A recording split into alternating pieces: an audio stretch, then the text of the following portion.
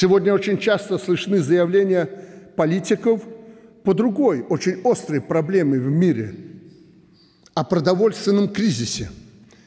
По цене зерно уже становится золотом, и далеко не все его могут купить. Причем миллиарды долларов на оружие легко находят. А на то, чтобы спасти от голода миллионы людей, прежде всего стариков и детей в бедных странах, денег нет и не предвидится. Кому-то снова надо разогреть серьезный конфликт – а может быть, разработать операцию прикрытия того, что некоторые сильные мира сего творят в мире.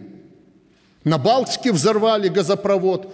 Скоро начнется эпопея обвинения России, что это Россия его взорвала, свой газопровод, чтобы не поставлять газ Европе. Когда Европа начнет замерзать, начнут говорить людям там, в Европе, что это Россия виновата. Напомню, наша страна не только обеспечивает свою продовольственную безопасность, но и может выступать ее донором.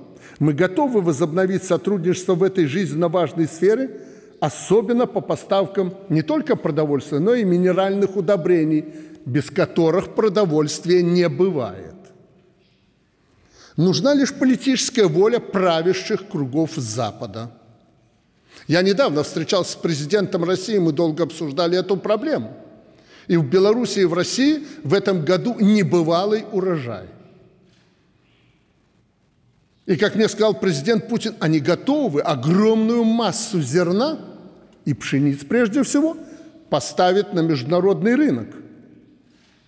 Открывайте порты, открывайте дверь, повезем вам продовольствие и зерно. Открывайте.